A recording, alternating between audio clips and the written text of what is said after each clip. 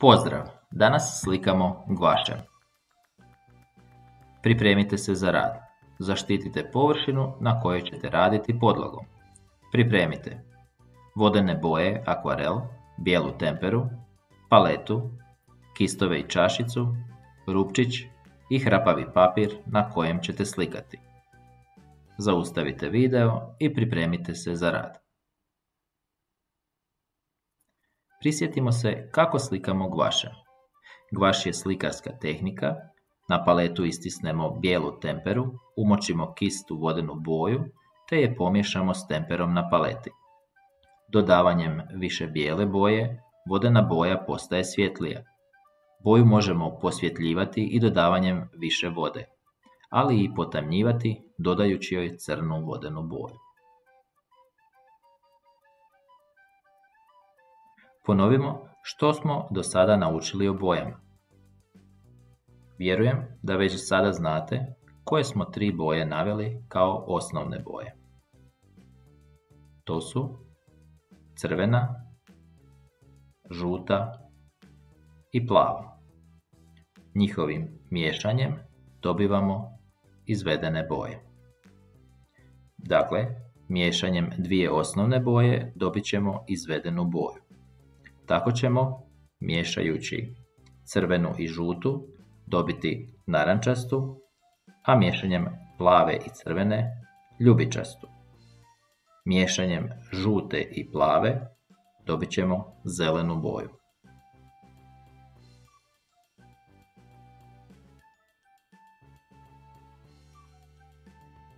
Boja se može nanositi na slikarsku podlogu na više načina, kao ploha, mrlja ili potez. Uočavamo stupnjeve svjetline boje. Oko sebe možeš uočiti tonove boja na zidu ili nekoj drugoj plohi. Ovisno koliko je neka ploha osvjetljena, to je boja te plohe svjetlija i obrnuto. Na primjer, ako ugasimo svjetla, zaslone, ostaće samo tama, mrak. Zato kažemo da je ton količina svjetlosti u nekoj boji. Ako ne bi bilo svjetlosti, ne bi bilo ni boja i njenih tonova. Primijeti gdje se nalaze tamni tonovi, a gdje svijetli na ljestvici tonova. Na dnu su tamni tonovi, a na vrhu svijetli tonovi boja. Što misliš? Kakve će boje prevladati ako upališ sva svjetla u prostoriji u kojoj se nalaziš? Svijetle ili tamne?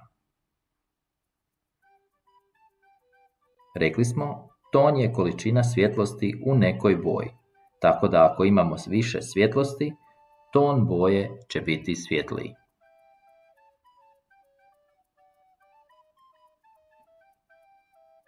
Prepoznajete li na ovom umjetničkom dijelu tonove boja? Uočite nizove tonova iste boje.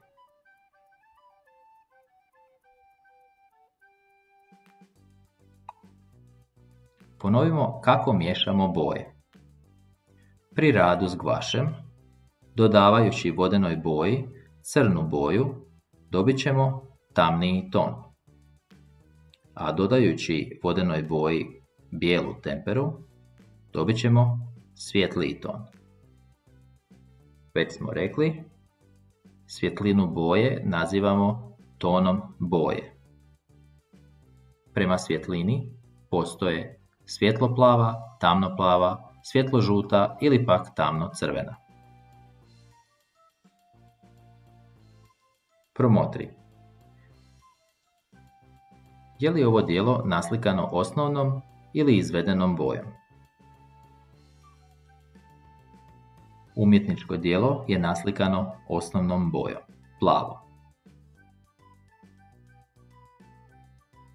Prepoznajete li na ovom umjetničkom dijelu tonove boja? Možete li uočiti različite tonove plave boje?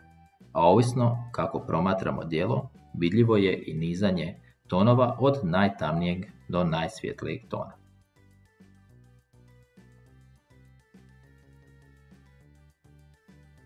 U oči. Koje je boje koristio slikar?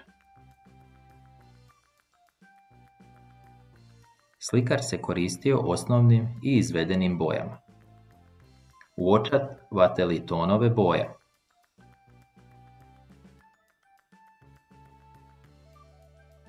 Pokažite različite tonove plave boje.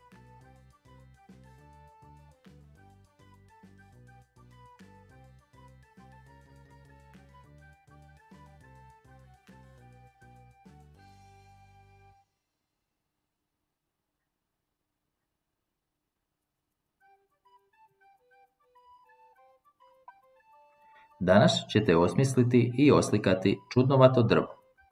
Slikat ćete ga osnovnim i izvedenim bojama u tonovima. Zamislite kako bi moglo izgledati. Tko bi mogao stanovati u njemu?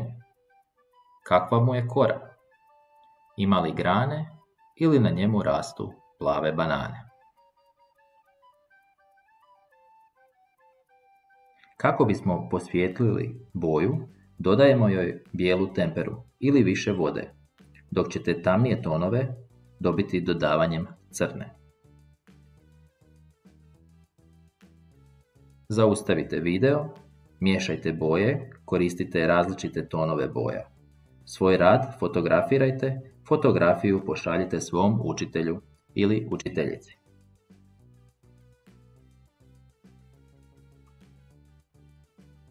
Koji je bio današnji zadatak? Današnji zadatak bio je osmisliti i oslikati čudnovato drvo. Čime smo slikali? Slikali smo gvašem. Kako smo prikazali čudnovato drvo? Čudnovato drvo prikazali smo osnovnim i izvedenim bojama u tonovima. Kako nazivamo svjetlinu boje? Svjetlinu boje nazivamo tonom boje. Jesi li dobio različite tonove boje? I jesi li zadovoljan ili zadovoljna svojim radom?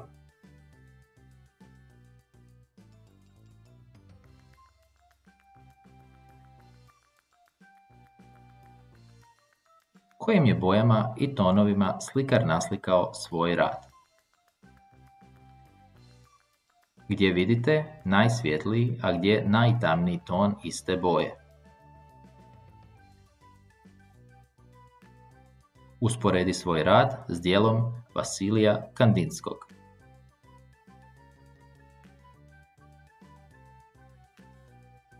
Hvala na pozornosti i pozdrav!